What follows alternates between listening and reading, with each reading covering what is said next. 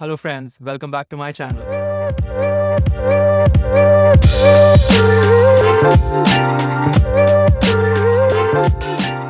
In the digital age, we are consuming so much content with podcasts, movies, YouTube videos, reading books, articles. And for me, this led to this feeling of being overwhelmed. I wanted to remember everything that I consumed, or at least the key highlights. And I could have written them down, but I don't always carry a journal with me. Sometimes I was out on a walk, sometimes I was working out.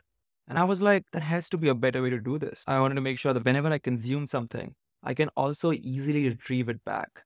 And in this process, I discovered Tiago Forte's book, Building a Second Brain, and decided to give it a shot. Now, you may be wondering, what is a second brain? Think of it as a system for capturing, organizing, and accessing all the information and tasks in your life.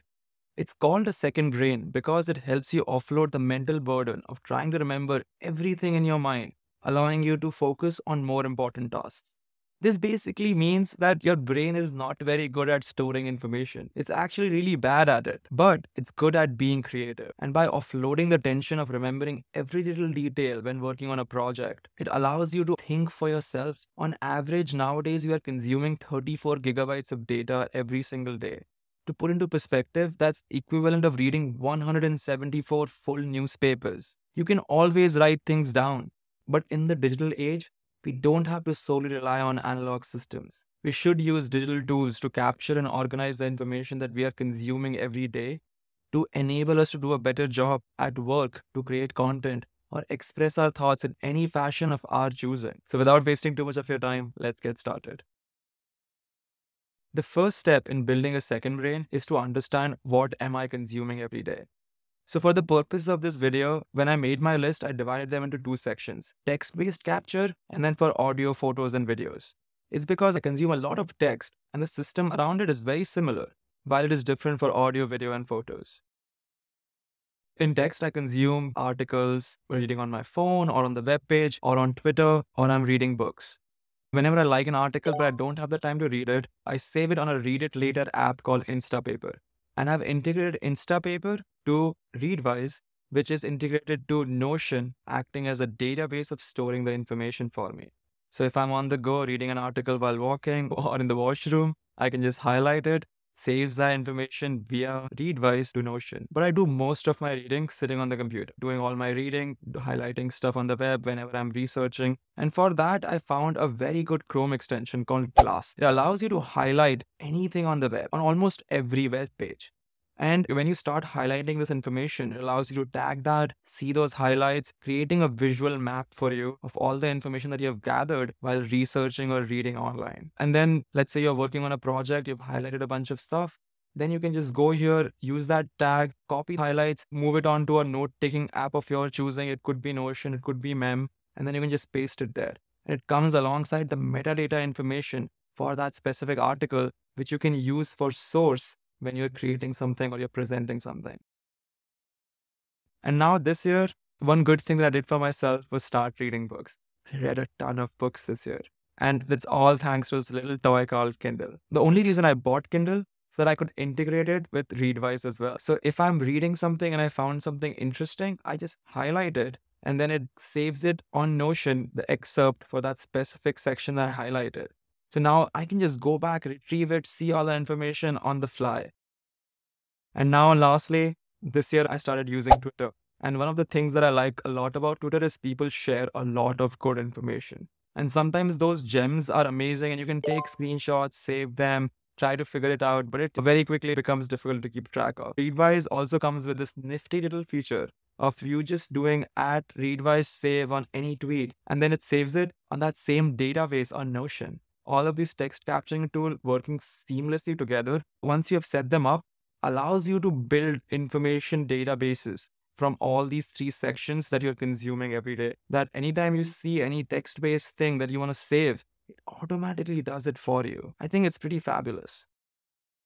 Moving on to the next section now, for audio, I listen to a ton of podcasts. I believe it's the future of us consuming information and learning new things. But the biggest complaint that I always had with podcasting softwares was if I found something profound while I'm listening to somebody, I had no ability to save that specific snip or that specific section. And this was frustrating. I was like, I can't just go back and remember timestamps. I used to record them, but that's painful.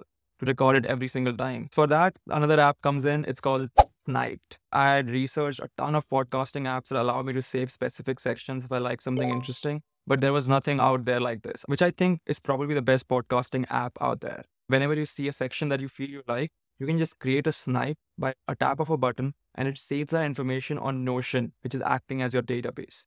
And then it generates key highlights alongside the transcript of the section that you saved or sniped. I'm very surprised that other apps are not doing this. Amazon, please add this feature in Audible. Stop gatekeeping knowledge. Now let's come to the place where I spend the most time and waste the most time. I primarily watch YouTube for a lot of the information that I'm consuming. YouTube has a lot of great features on itself pre-built in the tool alongside the save later videos, but I found it distracting to have the feed and save later side by side. I would just start watching new videos and I felt that was counterproductive to why I was saving them in the first place. So for that, I started to use this app called Play Save Later, which works seamlessly on all devices that I use. And you can add tags and you can create folders this allows you to save the videos that you really like in a structured manner. There are other Chrome extensions like PocketTube that you can use, but I have not used and explored them as much. For me, currently, this Play app has been working great. But if you guys have a better recommendation for saving YouTube videos, I'm happy to learn. And now for photos, it's basically Google Photos if you're an Android person or Photos if you're an iPhone person. I think these two apps are pretty good at what they're supposed to do. It's just save photos, create folders, create albums, share photos, and share albums. I still think there are a lot more features in the Google Photos app, but I do like the aesthetics of the Photos app a little more than the Google Photos. It really is a trade off between what you want. You want more features or you want more aesthetics. I hope you found all the information that I just shared with you useful. Now, I want to just give you guys some wisdom here do not capture everything. In the beginning, when you start capturing, ask yourself questions like Is it inspiring? Is it surprising? Is this useful for? Am I learning something here? And it might seem a little bit of a work when you are doing it in the beginning, but then as you keep on doing this, you will stop capturing everything, but start capturing the useful things which you think are going to benefit you down the line. And with that, I will end the CO, the capture and organize section of the code framework and then talk about the distillation section, which for me is my weekly review process. I look at everything that is pending in terms of my tasks, look at all the notes that I've created this week, I look at all the podcasts that I've saved. I look at any emails that I've not responded, look at the screenshots, look at the downloads folder, clean everything up so I don't accumulate all the capture information that I've stored because you can just keep on capturing. If you don't distill them, you don't organize them, weed out the unuseful part with the useful part, then you're just creating a problem on top of a new solution. It's counterproductive. So you must incorporate a weekly review process to just go over all the information that you've captured and then organize them into the right places that you feel like, and then just weed out the unuseful stuff that you've captured this week. Maybe you don't need them based on any project that you're currently doing or archiving the information once you have completed a project. And lastly, in the code framework, we have Express. Now, Express could mean a lot of the things depending upon your current situation. If you're a full time content creator, it's very easy to describe. You just have to express your thoughts, create the content with the stuff that you're consuming.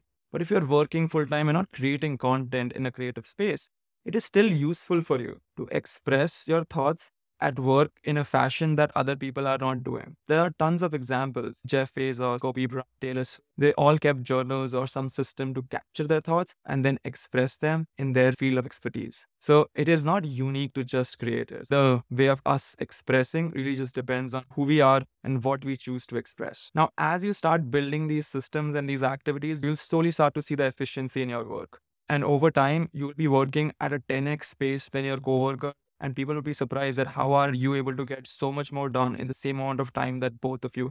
I hope you found all of this information useful and you start incorporating these systems in your day-to-day -day routine. Don't use your brain to store information, use computers, use your brain creatively to express your thoughts. See you next week.